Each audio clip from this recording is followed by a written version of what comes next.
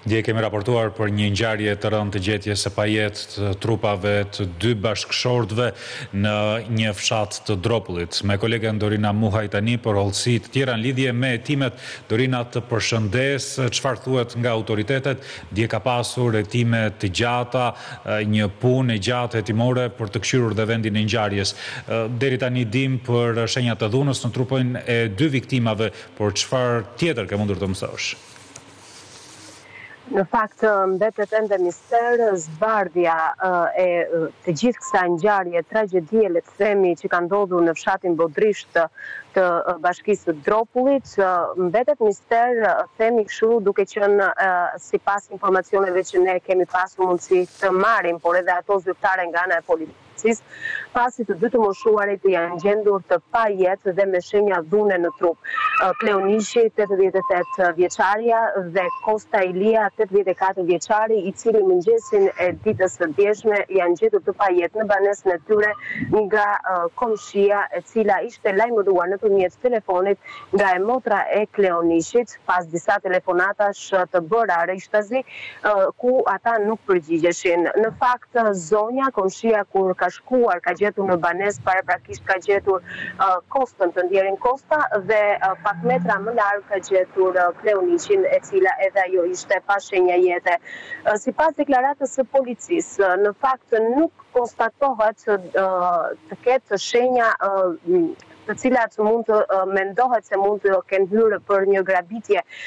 Pra, bie kjo si mundësi duke parë se edhe dyert dhe dritaret apo edhe orenditë në shtëpi, brenda në banesën e të moshuarve, nuk ka pasur trazira, le të themi kështu. Në fakt, një tjetër pistë në të cilën Dyshohet dhe mendohet mund të jetë edhe ajo që të dy të moshuarit mund të jenë vrarë me njëri-tjetrin, pasi edhe jashtë kamerave disa prej banorëve kanë thënë se ata kanë pasur konflikte herë pas here me njëri-tjetrin për shkak se i moshuari kohët e fundit kishte shfaqur probleme të shëndetit mendor.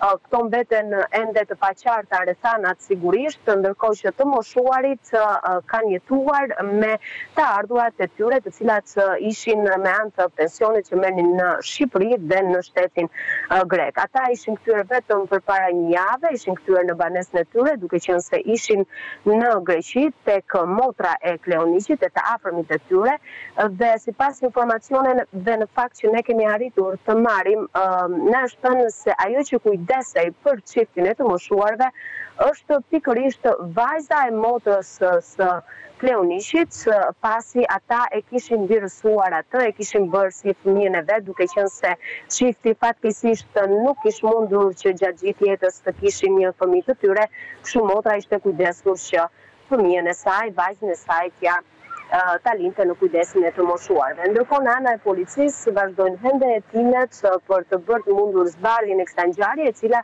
ka tronditur të gjithë banorët e fshatit. Në fakt vlen të theksohet që në bashkinë e Dropullit në fshatrat e shumtë që Dropulli ka është lakmuar herë pas here që të ketë edhe hyrje nëpër banesa, grabitje, të cilat nuk kanë qenë fatkeqësisht edhe me humbje jete ashtu siç mund të ketë ndodhur me çiftin e të moshuarve. Ndërkohë që nga ana e policisë janë shoqëruar disa persona që ditën e djeshme, mëngjesin e djeshëm dhe gjatë gjithë ditës hetimet kanë vazhduar, persona të cilët dyshohet se mund të kenë dijeni për ngjarjen, banorë të fshatit të Bodrisht, por edhe banorë mund të themi barinj të cilët vijnë dhe punojnë me sezon në këtë zonë të Dropullit. E qartë. Dorina, të faleminderit për gjitha këto hollësi, ndërsa vijojnë ende hetimet e policisë për këtë ngjarje tragjike.